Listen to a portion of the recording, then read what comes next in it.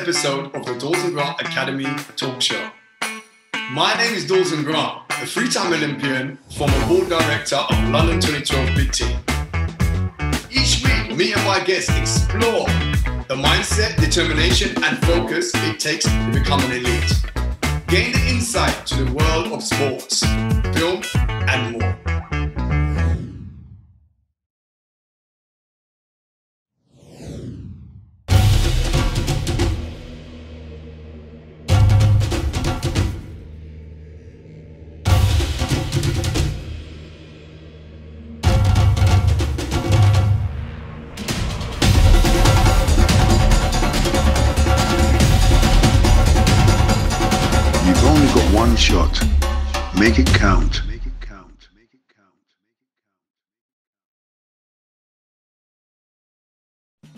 Welcome to the next episode of Dalton Grant Academy Talk Show. And I'd like to say, have a, a wonderful treat for you today. Our special guest today is none other than an England international, a Liverpool legend, Mr. John Barnes. I'd like to say, welcome to the show. Thank you very much. Um, but you forgot ex-England international because, of course, if you look at the size of me now, Oh, in my can- eyes, you're I can't play current. for the legends. Yeah, some people never even reach the level that you've reached. So, hey, it's still current to me. Thank you. But anyway, um, John, um, thank you, thank you so much for um, you know accepting the invite to the show. And let's go into it, John. So, your youth, football, was it athletics? Was it cricket? Tell me what in, and Well, who inspired you? I grew up in Jamaica um, till I was 13 years old. So, of course, growing up in Jamaica, my father played football for Jamaica. He was a, he was a colonel in the army, so he wasn't a professional footballer. But of course, being a colonel in the army, he was a very good footballer. He was a very good cricketer. He played cricket for Trinidad, funnily enough. He, he came from Trinidad to Jamaica when he was 19 to join the British West Indies Regiment. Because anybody from any of the Caribbean islands wanted to join the army had to go to Jamaica. So from Trinidad, Barbados, he had to go to Jamaica. So he played cricket for Trinidad second 11 when he was 18 years old. But when he came to Jamaica, he always played football. When he got to 26, 27, he's an army officer. He then became the, the, the Jamaican football team captain, plays as a centre back. He came to Sandhurst in the um, in the 50s, which is obviously the officer British officer training camp, where all of Winston Churchill and all of these great army people went. Not Winston, he was a politician, but he was uh, he was there with um, Andrew Parker Bowles, Camilla's husband. Camilla Parker Bowles' husband. So he was a British Army officer. Uh, and he then became, he played rugby for Sandhurst, never played rugby before. He became the heavyweight boxing champion at Sandhurst because my dad, being a very disciplined person, decided that, and he knows what discrimination is like and the perception that they will have of these are like the elite of the British Army, which has been around for hundreds of years, who are now having to accept colonials into the ranks, coming into. So therefore, he felt he had to volunteer for everything. He had to be better than them. So he volunteered to box, play rugby, everything. So I grew up in a very sporting household. So growing up in Jamaica, as much as football was always my first choice, I played cricket. I didn't play rugby because rugby wasn't in Jamaica, but my I had to walk across Sabina Park every day to go to school. My school, St George's College, was attached to Sabina Park, the home of Jamaican West Indies cricket, if you like. So I grew up playing cricket. Then coming to England, I played rugby because I went to a rugby school. So like my dad said, whatever you're going to do, you throw yourself into it. So I only played rugby at school in England. I played football for a local club, So, John- Boys Club, but I only played rugby at school. So I really just did all sports. Yes. But it was always going to be football. Yeah. So you come from a sporting background. So did you feel the pressure? So it's really great looking back as a youth. You had someone to look up to, a role model, which was your dad. Um, did you feel the pressure from your parents that once they knew what you love, uh, was they strict? Was they quite laid back to that approach? no, my father was very strong in saying that I didn't feel I didn't feel the pressure in having to succeed. I felt the pressure and having to do my best because he said if you're going to do something, you do it with integrity, you do it with honesty, you do it with discipline and commitment. Just to give you an example of how committed my father believed you had to be to be a human being. Forget about sport. Education was the same as much as I didn't listen too much to that, but my, my sisters did. Was I was swimming competitively. My sister swam for Jamaica, and my other sister played, she played squash for Jamaica. So it was a really sporting household. She swam for Jamaica when she was 11 years old in the age group on the 11th, on the 12th. And I was swimming competitively for Marlin Swim Club. So we had to go to training every day at the National Stadium in Jamaica. I don't know if you've run there. Because we lived where you've jumped there. We've lived right we, up our camp where we brought up the army base was right beside to it. So we used to walk across the football field to go to swimming training every single day. because I was a competitive swimmer at six, seven, eight years old. But I used to stop off to play football with my friends and then go to training every day. And my dad said, if you're not going to go to swimming training every day to be committed, stop swimming. So I gave up my swimming career when I was about 10 years old, nine years old, because he said, if you're going to do it, you do it with integrity and honesty. Yeah. So therefore, the point I'm trying to make is the pressure I felt was if I was going to do something, you do it with authenticity and commitment. Yes. But you know the funny thing about it, John? My parents were from Jamaica, Kingston and St. Thomas license. And my mom couldn't swim because it was, I Yeah. don't know, it was a fear of, you know, uh, you Was might lose your life in the water. Thomas? Or a lot of people probably passed away. So it was really funny. And when I was growing up, it was known that black people couldn't swim because their bones was heavy. So to hear you go back in your youth and your, you know, insight to say, hey, I was good at swimming, you know. So But Dalton, Dalton, once again, we're talking about now, we're talking about the perception that people have of other groups of people. That's where Yes. discrimination, sexism, homophobia comes from. There was a perception that black people don't swim. that's right. Black people swim all over. And once again, once we have these perceptions, which are forced on us, we are conditioned to think it, then we can't help it. So that is why racists, homophobes, we can't help it because this is what we've been wrongly taught about each other.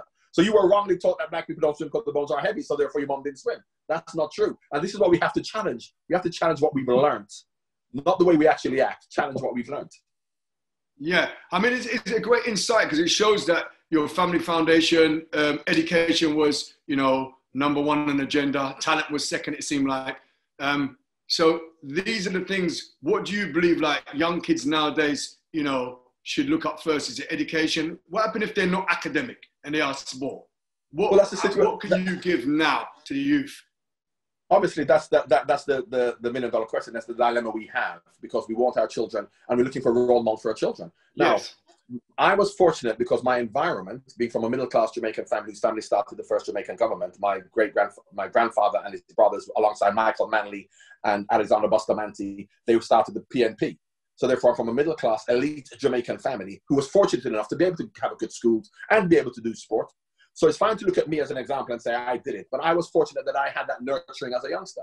Now, why I'm loath to really go into the inner city to tell these kids what to do is because when they say, when I say to them, look, I'm not a good example because I was given every privilege and benefit to be able to do what I did. You may not have that benefit. You know, so I look at someone like Ian Wright, for example, who would have come from there and say, okay, well, look at Ian and what he's actually done. You know, and he's come from where you've come from. Yeah. All the struggles that you've had from an educational point of view, from the point of view of with his family and, you know, the way he lived and, the, and the where he lived. Okay. So a big problem I have when we talk about going into the inner cities to talk about, you know, being inspirational and seeing not just me, but even Ian Wright or other people who have come from that area. Um, the, the, the, why I'm loath sometimes to do that is because Ian Wright and, and Stormzy and all the people have come through to achieve what they've achieved, achieved despite their environment, despite the negativity towards them, despite the fact that they didn't have any opportunities, because they were brilliant people. Yeah. Now, what we want to do is we want to create an opportunity and an environment for you not to have to be better than everybody else and have to be strong and have to be for you to be successful. So Yeah. what I try and do is to try and say, let us create an environment which is not just going to produce the Ian Wrights and the Stormzys and the brilliant people, for the average person to get equality, to get respect, to be able to get a job, to be able to get a decent house, rather than saying you have to be better than white people or you have to be better than somebody else to achieve. I understand that, yeah, that's very inspirational to people, but that doesn't affect 99% of people. Because 99% of people can't be footballers, boxers, high jumpers, rappers. 99% of people are going to be average people, regardless. Yeah, but- so why don't we try and, try and create an environment to help those average people who can't be the superstars? That's Yeah, no. more important. I agree, John. I mean, it's very good. I come from a, uh, um, a privileged um, upbringing, coming from Hackney, so-called the ghetto. But I can tell you now, my parents was, a, my mum was a cook, my dad was a carpenter. But I could have gone a different way. I'm proud of myself that people knew me and what I was capable of doing, but I did the right thing. When I had my choice, I did the right thing. So I've not, I can be proud here and tell you, I didn't end up in prison. I didn't get myself in trouble. When it was to do the wrong thing, I went the other directions. First, my parents, I didn't want to let them down. Secondly, I was scared of the licks. So that's the only thing I But you were feared. also, but Dalton, you were also fortunate because you had the talent and the height and the, and the physical capability to be a world-class high jumper. Yeah. No, No, but this is what I'm saying. I had the talent and ability, but I wanted to be a football player. But my talent Right. lied in jumping. But I commend Okay. myself for having that Yeah. mindset and realizing, you know, where my talent lied and actually nurture that by putting myself Right. around the right people. So what I'm trying to do now with the Grant Academy is listen, the man behind John Barnes. John Barnes is your vision, your upbringing, what you portray. Is it the majority who live that lifestyle as yours? Or is it someone like Ian Wright, Dalton, Rio Ferdinand, David Beckham? And this is what we need to do. But it's not the, the right way is the, the way what suits you, you know, and invited by the law and being yeah, strong enough to say no at the right time. And don't get pressured by peer pressure. You know, I and this is what I believe. It's great to meet you and get to know you, and you're so passionate with what you're you're delivering. And I commend you for going out and speaking like that, because there's a lot of people that might not understand where you're coming from. Understand, get to know John Barnes, because you know, know the foundation of where it's going. And you don't need to agree with him, but if you don't, you have to agree with what he's doing. He's standing up and being out in public, you know, for what you believe in. And I commend you for that, John. If no one said it, I'm saying here. And I take bits and pieces. I don't need to agree with everything, but I take a lot from you. You inspired me on the pitch and you inspire me, you know, after sport you know, what you're doing, with your stand. So it's great that foundation that you've nurtured you for your parents, through education, going through football, and using your skills, transferable skills. So, as again, once again, I commend you, John Barnes. So Thank you very let's much, go on to the next. No, but one second. You have any role models? Dalton, Sorry, Dalton, let's come back. Yeah, Dalton, just let, just let me make one point about that. You want to yes, be a make a point about that. Yeah, you, you want to be a footballer. And as much yes. as you would say, yeah, it could have been, it didn't work out. Other people may disagree, but it didn't work out. But you fortunately had the talents to be a, a jumper. Yes. Now, what about if you want to be a footballer? You want to be a jumper, you want to be a boxer, you want to be a singer, but you can't because you haven't got the talent, of which 99% of people don't. Then you become an official or agent and be honest no, to yourself an official or an agent. How are you going to become an official or an agent when you can't even no, get GCSE because because you cannot even get an education because the inner city doesn't give you a house where you can have lights, doesn't give you an education. How are you going to do that? How are you going to do that? We can't say to our kids, people who become that become those great things despite their environment. Definitely, but John, yes, you can aspire to. But this is that. what I'm saying, John. I love what you're saying, but we are the yeah. you are the pioneer, John. I am the pioneer. So therefore, we have to make it easier for the next generation. But the next generation needs to know that it's not that we're out of tune or out of date. We're talking from experience. Experience. Yes, we know what it takes. The hours, the, the years Dalton. went into this. And this is what I'm Dalton. trying to do now with the Dalton. show to hear what John Barnes is saying and how he's making a difference. Right. But that is not the reality for 99% of people. Whatever, any kid that you empower to become a footballer or to become whatever he wants to become, that is going to be less than 2% of the population. What happens to the others? And that's what I'm talking John, about. John, we let's be honest, John. Environment. John, you're in a world that if you go to war, you're going to have casualties. Yeah? Yeah. You play a team, someone has to lose. So that's life. So but this Dalton, is what life is. Dalton, it's a gamble. But the, the thing what is, the key is make sure you're at peace with yourself and you're honest and you can do the right thing and sleep at night. You can't please everyone. What got John Barnes is not going to press the button and make the world be one special place. That's what's so beautiful about the world. It's all yep. individuals, it's all right. ups and downs, it's a roller coaster, and it's how you survive, you know, in life. And raising your family, you know, doing the basic things or looking after Dalton. yourself if you don't want to have a family. Dalton. It's down to every Dalton. individual. Dalton, we don't want 99% of people to lose. Yes, we know it's hard, but 99% of people are losing. And the 1% of black people are winning, and we're then saying that's okay. That's not okay. It's no, that's not okay, for John Barnes totally and Dalton. We need to get, yes. and 99% of people are being neglected. And I'm not going to neglect them, regardless of whether we feel that we need more footballers and actors and, and, and, and pop stars and, and agents, that is for 1%. We need the 99% to be re- represented. And what Marcus Rashford did, and that's not a black thing, but that's an underprivileged thing, underprivileged right. thing, of which most black people are. What he did was he changed the lives of underprivileged people by lobbying the government and the council to do something about it. What he could have done was given them £250,000 of his own money, which have lasted one week.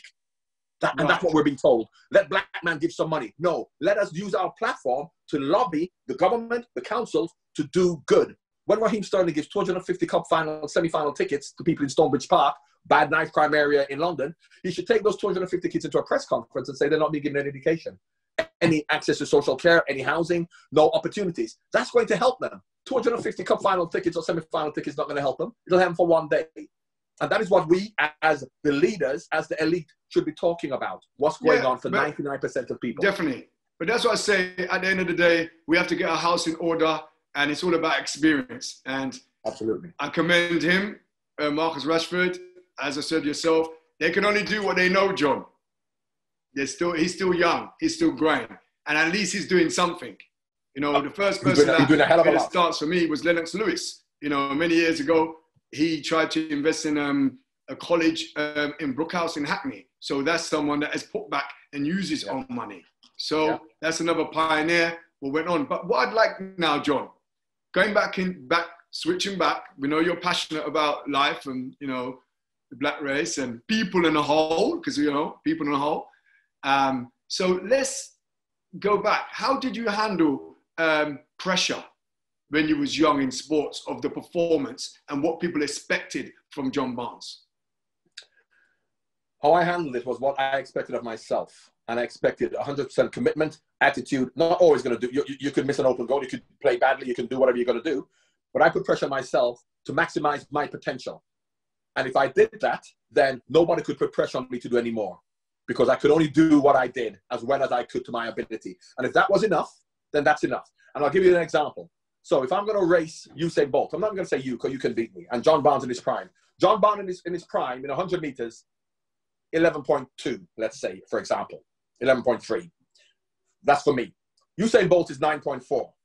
If I race Usain Bolt and I do 11.4 and Usain Bolt beats me by 20 yards, but he does 10.5, I am more successful than him because I have maximized my potential to do exactly what I can do, whereas he's done a second slower. So as much as he's won the race, I am the winner.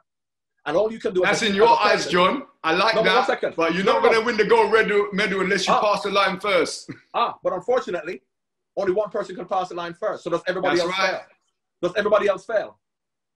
Yeah. No, they don't. Second place is the first loser. That's what we no, know, John.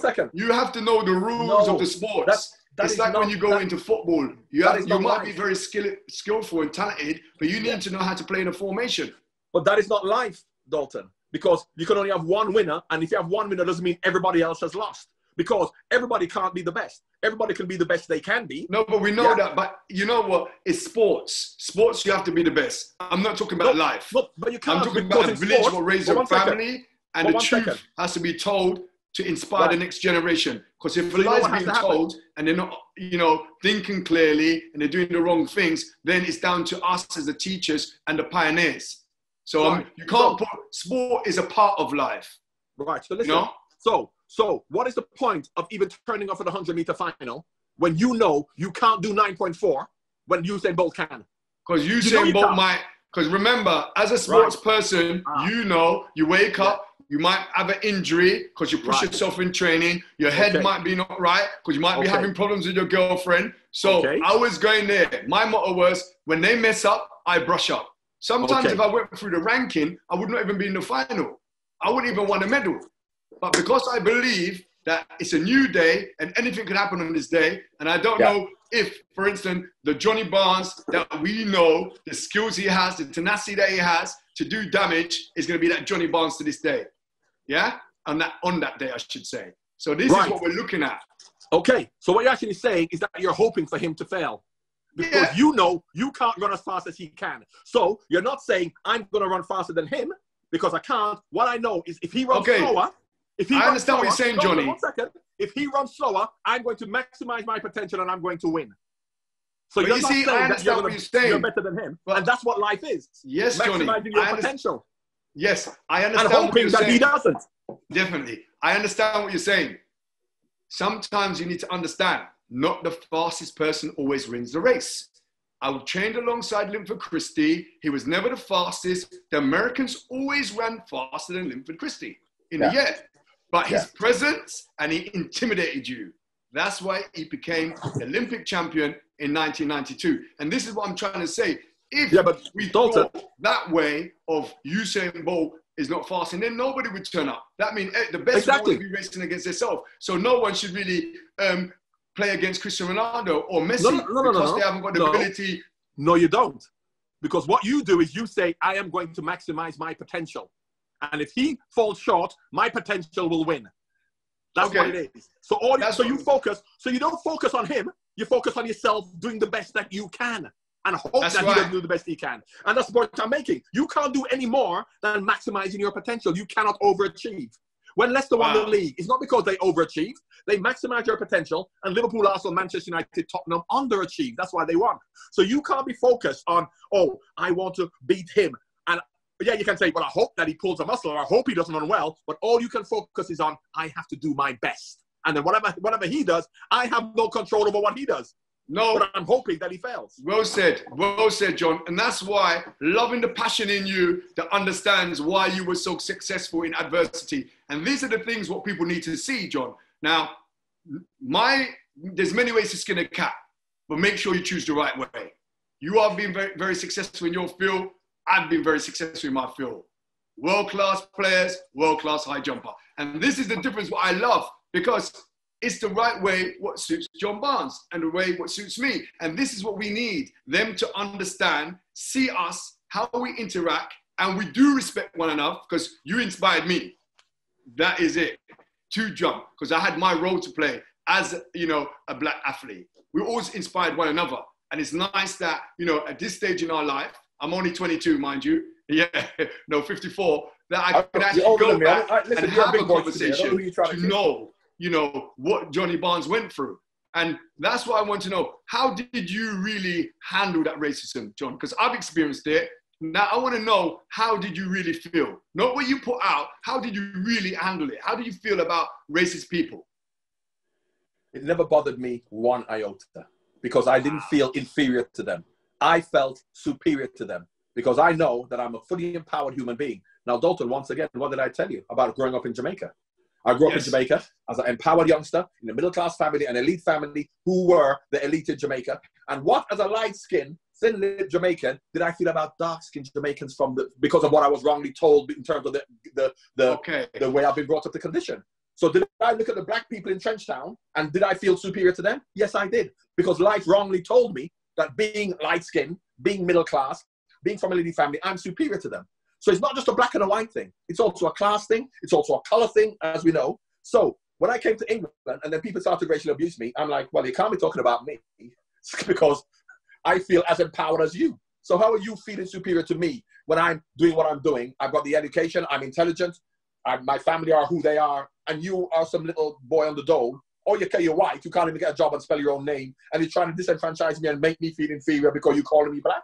It never bothered me at all. So once again, I could never look at anybody else, Ian Wright or Luther, or anybody who is upset and they fought against it and say you're wrong to Yeah, do that. yeah. You have to be true No, to yourself. No, I, I understand because let's be honest, at our time we couldn't walk off. We knew that there was racist people. We knew they made those comments.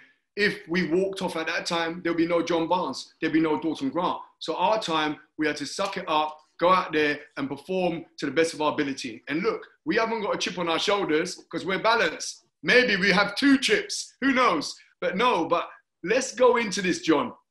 What was your best team that you know you would say, or performance, I should say, because obviously you played for Liverpool and through. So, what was the team that you really thoroughly, thoroughly enjoyed to be playing with? I mean, it was Liverpool. Watford, of course, as well, because that's my first club. And of course, you know, you're young. Graham Taylor was a great inspiration, a great leader, and you're young and you're playing, so it's a great time. But when I went to Liverpool, I went to a different level. And then I learned about humility. I learned about I learned about humility at Watford. I learned about togetherness and Okay, team spirit John, because Watford. Break that down. Let's break it down. How did you learn about that? It's Well, easy first of all, saying it how? Well, first of all, it came from a family. My dad, Okay. as I said, my dad spoke about discipline, organization, determination. My father played team sports, and team sports is not about the individual; it is about the group. And the group success, no individual can get success without the group. So in football, from as a young boy, if I scored three goals every match and we lost four three, I was a failure because I lost. Right. Yes, I'm the one scoring the goal, but I have lost. So I had that attitude of the team being the most important thing if you're going to be involved in team sports. And even in individual sports, you have to understand that because you're trainer, you're masseuse, your high jump training partners, they're part of your team who are going to help you to win, and you have to value them. So no man's an island. There's no such thing as an individual who does everything by himself. You must Yes. you have to massage you, all that kind of stuff. So I understood that. That, epitomized didn't that because Watford didn't have any superstar players. Every player came from the fourth division, Luther included. When I came as a young boy, I was a 17, 18 year old, not a superstar boy. I came into this team who finished second to Liverpool in the league without having Right. superstar players. How do we do that? Because of our attitude towards the team. Then I went to Liverpool. Of course, they're superstar players, they're the best team in the country, the best team in Europe. But the players still bought into this ideology, which is a very socialist ideology from Bill Shankly, of the team being the most important thing. What is the team? Not the first 11, the whole squad. Not the whole squad, the staff. Not just the staff, the fans. Not just the fans, the tea lady, the people who are the groundsman. That's the family that gives success. And that's what we buy into. Right. And that is what a community is. So the Definitely. success of any individual, the success of you, me, Stormzy, that comes from our community supporting us and, and, and, and winning yeah. us on. And that is what I believe. So that is why I talk about humility, and that's yeah. what Liverpool had. Brilliant. So, John, it sounds like you're the complete package, but did you have any weaknesses? Come on, John, give me insight. What did you have to battle with? With your challenges? We all any have battles, weaknesses. any challenges? Training hard, have... waking up, I don't, I don't see eating them as, properly. I don't see them as weaknesses or challenges. I see them as, okay. as, as, being human, as being human. Of course, I erred and I failed and I could have done things better. But what you have to do is you have to give 100%. John, like, what could you have done better, John? What could you have done better? Well, I could have um, stayed in and not gone out as much as I did. I could have been more professional. But don't forget, this is in the 80s when the, the, attitude of going out and having a good time rather than living the professional life that they live now. Um, obviously, in my first marriage, I could have been a better husband. So, so you're a better mover, John. John, huh? you got the moves, John. I used to, not anymore. So um, were you a soul yeah. boy, reggae, yeah, yeah, no, no, no, yeah, of course, your R- music? R&B, hip hop, R&B, hip hop, Grandmaster Flash and the Furious Five. So no, you got them, them moves, John, yeah? Like you know the Pee Wee back in the days, John. You know the moves. Listen, I can do all of that. What's the matter with oh. you? Pop? Please, come on. You from Hackney? You must know. Um, you must know the Fontaines. You know the Fontaines from Bow. Yeah. Don't know if you know the Fontaines. They were dancers. Yeah, Fontaine. yeah. Oh, yeah.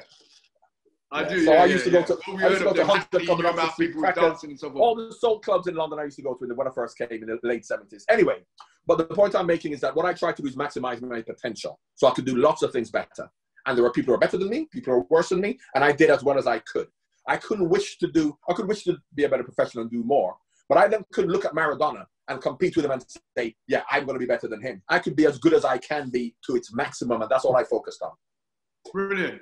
Well, John, we're nearly coming to the end of this, and I'd just like to say if you had a magic wand, tell me two things what you would do to make difference. Only two things, short, please, quick and direct.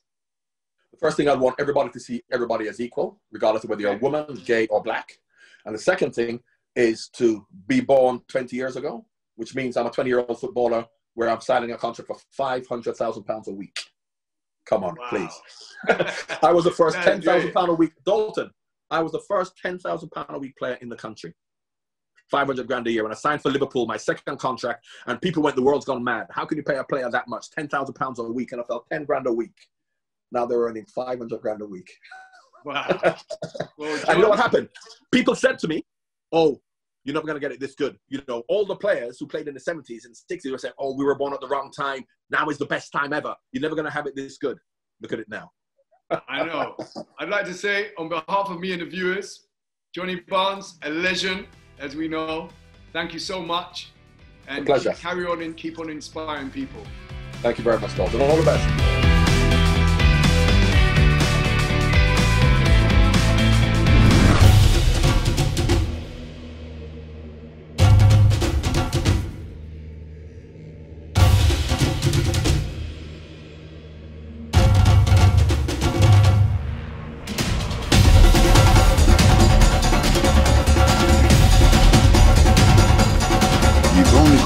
Shot. Make it count.